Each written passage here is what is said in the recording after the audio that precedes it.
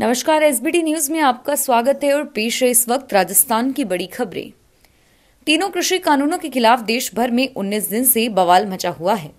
राजस्थान में कृषि कानूनों के खिलाफ विरोध प्रदर्शन लगातार जारी है और इसी घमासान और बवाल के बीच किसान संघर्ष समिति ने फिर से केंद्र सरकार के खिलाफ हल्ला बोला है। संघर्ष समिति के संयोजक हिम्मत सिंह गुर्जर ने कहा कि मोदी सरकार बड़ी कंपनियों के दबाव में कृषि बिल लेकर आई है। सरकार किसानों से हक छीनकर बड़ी कंपनियों को फ़ायदा पहुँचा रही है और इन बिलों से कालाबाजारी बढ़ेगी और किसान अपनी ही ज़मीन पर बंधुआ मजदूर बन जाएगा। राजस्थान के 12 जिलों के 50 निकायों में आए परिणाम, भले ही कांग्रेस ने भाजपा को पछाड़ दिया हो, लेकिन निकाय परिणाम गहलोत सरकार के मंत्रियों और विधायकों के लिए सुखद नहीं है। पचास निकायों में आधा दर्जन मंत्रियों और दो दर्जन से ज़्यादा कांग्रेस विधायकों के क्षेत्र थे। जहाँ केवल कृषि लाल चंद्र कटारिया ही अपने विधानसभा क्षेत्र की जोबनेर नगर पालिका में पार्टी को पूर्ण बहुमत दिला पाए, जबकि चार मंत्री और अठारह विधायक पार्टी को बहुमत नहीं दिला पाए। इन मंत्रियों और विधायकों के क्षेत्रों में निर्दलियों को पलड़ा भारी रहा है। किसान आंदोलन को आज उन्नीसवा दिन है। सिंधु बॉर्डर पर यूनाइटेड सिख संगठन और नोएडा चैरिटेबल ब्लड बैंक ने मिलकर ब्लड डोनेशन ड्राइव चलाई है। इस ड्राइव को आज से शुरू किया गया है। प्रदर्शन में अमृतसर से आए जसबीर सिंह किसान के बेटे हैं और ब्लड डोनेट कर रहे हैं। उनका कहना है कि ब्लड डोनेट करके अच्छा लग रहा है। यूनाइटेड सिख संगठन के डायरेक्टर प्रीतम ने बताया कि इस ड्राइव का मकसद उन लोगों को संदेश देना है, जो किसानों को खालिस्तानी कहते हैं। हम यहाँ मानवता के लिए बैठे हैं। राजस्थान में नगरीय निकाय चुनावों में अब तक भाजपा का पलड़ा भारी रहता आया है। हालाँकि इन चुनावों में सत्ता का असर देखा जाता रहा है। पिछले पाँच चुनावों के परिणाम देखें तो जब भी भाजपा सत्ता में रही, कांग्रेस के काफ़ी कम वोट बने। लेकिन जब कांग्रेस सत्ता में आई तो निकायों में अध्यक्ष सभापति की संख्या तो बढ़ी, लेकिन भाजपा से ज़्यादा अंतर नहीं रहा। और वहीं भाजपा सत्ता में रही तो कांग्रेस से काफ़ी ज़्यादा अध्यक्ष सभापति बने। लेकिन इस चुनाव में यह परिपाटी टूटती दिख रही है। कृषि कानूनों का दिल्ली के बाद अब राजस्थान, हरियाणा बॉर्डर पर विरोध तेज हो रहा है। किसान अलवर ज़िले के शाहजहापुरा कस्बे के राजस्थान, हरियाणा बॉर्डर पर जमे हुए हैं। शुक्रवार को किसानों की ओर से दिल्ली जयपुर हाईवे राष्ट्रीय राजमार्ग को जाम करने की चेतावनी दी गई थी, जिसके बाद राजस्थान और हरियाणा पुलिस का जाब्ता बॉर्डर पर लगाया गया। हालाँकि किसानों ने अभी तक हाईवे जाम नहीं किया, लेकिन राजस्थान पुलिस इस मार्ग से दिल्ली जा रहे वाहनों को परिवर्तित मार्गों से जाने की सलाह दे रही है। इस बार 15 दिसंबर की रात को नौ बजकर इकतीस मिनट पर मलमास प्रारंभ होगा। यह 14 जनवरी 2021 की सुबह आठ तेरह बजे तक रहेगा। इस एक महीने की अवधि में भगवान सूर्य अपने गुरु बृहस्पति की सेवा में रहेंगे और इस कारण सभी मांगलिक कार्य वर्जित रहेंगे। पंडितों के अनुसार धनु मल मास में वैसे तो बहुत कम अच्छे संकेत मिलते हैं। यह महिला यह महीना नकारात्मकता से भरा होता है और इसके बावजूद इस बार देश के लिए यह धनु संक्रांति कुछ अच्छे संकेत लेकर आई है। संक्रांति की कुंडली के सप्तम भाव में गुरु व शनि के कारण भारत का प्रभुत्व पूरे विश्व में बढ़ेगा और देश इस दिशा में नए आयाम स्थापित करेगा। भारत पाक युद्ध 1971 की जीत के उपलक्ष्य में सीमा सुरक्षा बल की भारत पाकिस्तान अंतर्राष्ट्रीय सीमा पर बेटन रिले रोड रविवार आधी रात को शुरू हुई। काजूवाला क्षेत्र की कावेरी सीमा चौकी पर रात 12 बजे बीएसएफ के जवानों ने बेटन लेकर दौड़ना शुरू किया। डीआईजी पुष्पेंद्र सिंह राठौर ने हरी झंडी दिखाकर रीले दौड़ शुरू करवाई। बीएसएफ के जवान रात भर दौड़कर सुबह अनूपगढ़ क्षेत्र की कैलाश सीमा पहुँचे और यहाँ से सीमावर्ती गाँवों से होकर अनूपगढ़ स्थित स्टेडियम में समापन समारोह स्थल तक जाएँगे।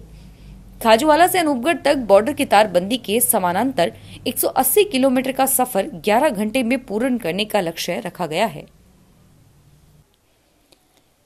रेलवे भर्ती बोर्ड द्वारा मिलिट्रेंस और आइसोलेटेड कैटेगरी के पदों पर भर्ती के लिए पहले चरण की परीक्षा का आयोजन कल 15 दिसंबर से किया जाएगा।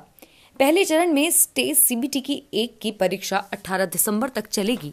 और पहले चरण की परीक्षा के लिए कुल तीन केंद्र बनाए गए हैं और कुल एक पदों के लिए एक दशमलव ज़ीरो तीन लाख उम्मीदवार परीक्षा में सम्मिलित होंगे। बोर्ड एमआई भर्ती परीक्षा के लिए एडमिट कार्ड भी जारी कर दिए हैं। परीक्षा के लिए जाने से पूर्व उम्मीदवारों को सभी ज़रूरी नियमों का पालन करना अनिवार्य होगा। कोटा के आर के पुरम पुलिस ने कोटा विश्वविद्यालय में फर्जी अंक तालिका के ज़रिए प्रवेश लेने तथा छात्र संघ चुनाव लड़ने के दर्ज मामले में फरार चल रहे दो अन्य आरोपियों को गिरफ़्तार किया है। पुलिस की पूछताछ में आरोपियों ने कबूल किया है कि पाँच हज़ार रूपए में कोई भी डिग्री बनाई जा सकती है। आसानी से फर्जी अंक तालिका जारी कर दी जाती है। पुलिस ने अब जाँच का दायरा बढ़ा दिया है। आप सभी ने साल 2019 में आई आयुष्मान खुराना की फ़िल्म ड्रीम गर्ल तो देखी ही होगी और फ़िल्म में आयुष्मान खुराना लड़की की आवाज़ में लोगों से दोस्ती करते हैं। ये फ़िल्म भले ही आपको सच्चाई से परे लगे, लेकिन छह राज्यों की पुलिस ने एक ऐसा ही गैंग अब मुसीबत बन गया है। पुलिस को बा और पिनाइट के बीहड़ गाँव के पचास ऐसे हेलो गैंग के सदस्यों की तलाश है जिन्होंने अपनी मीठी मीठी आवाज़ से पाँच हज़ार से ज़्यादा लोगों से ठगी की है। ये गैंग भोले भाले लोगों को नौकरी दिलाने और युवतियों से दोस्ती कराने का झांसा देते हैं और पैसे ठग लेते हैं। माइलोजोस्टिक गुरुकुल अकादमी स्पाइस जेट की माल ढुलाई शाखा स्पाइस एक्सप्रेस के 500 से अधिक कर्मियों को उन टीकों के रखरखाव संबंधी ऑनलाइन प्रशिक्षण दे रही है, जिन्हें कोल्ड चेन प्रणाली में रखे जाने की आवश्यकता है। दिल्ली स्थित प्रशिक्षण अकादमी ने सोमवार को जारी एक प्रेस विज्ञप्ति में बताया कि वह करीब 25 प्रतिभागियों वाले हर बैच को दो दिन के लिए प्रतिदिन चार घंटे ऑनलाइन प्रशिक्षण मुहैया करा रही है।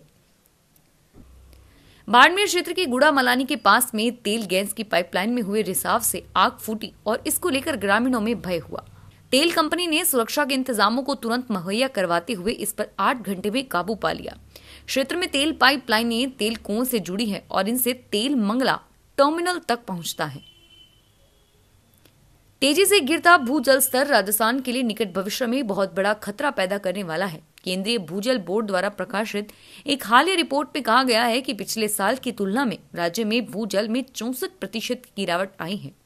राजस्थान में भूजल के उतार चढ़ाव पर नज़र रखने के लिए हर साल भूजल विभाग राज्य में एक हज़ार से अधिक कुओं का प्री और पोस्ट मानसून अध्ययन करता है। वर्तमान में राजस्थान में 709 खोदे गए कुओं और पाँच पाइजोमीटर सहित राष्ट्रीय राजमार्ग स्टेशनों के एक हज़ार दो सौ छियासठ क्षेत्रों की निगरानी की जा रही है। रिपोर्ट के अनुसार नवंबर 2019 से नवंबर 2020 तक के वार्षिक जल स्तर में उतार चढ़ाव से पता चलता है कि चौंतीस दशमलव चार चार प्रतिशत स्टेशनों में वृद्धि देखी गई, जबकि चौसठ दशमलव पाँच पाँच प्रतिशत की गिरावट दर्ज की गई है। मुर्गी, दाना और पशु चारे के लिए पूर्वी राजस्थान समेत राजस्थान की एक दर्जन मंडियों में खरीद जारी है। मालगाड़ी के ज़रिए 2500 से 3500 टन बाजरा एक बार में भेजा जा रहा है। और इसके लिए कोटा मंडल में हिंडोन सिटी रेलवे स्टेशन के लिए रेलवे की रैक बुक की जा रही है।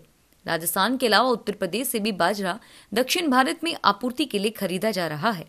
राजस्थान में भरतपुर, हिंडोन, सवाई, माधवपुर, अलवर, दौसा, लालसोट क्षेत्र से बाजरे की प्रमुखता से खरीद हो रही है। यूपी से एटा और कासगंज से प्रमुखता से खरीद की जा रही है। फ़िलहाल इस बुलेटिन में इतना ही, और फिर हाजिर होंगे तमाम बड़ी खबरों के साथ। एसपीटी न्यूज़ के वीडियो देखने के लिए हमारे चैनल को सब्सक्राइब करें और नोटिफिकेशन पाने के लिए बेल आइकन को प्रेस करें।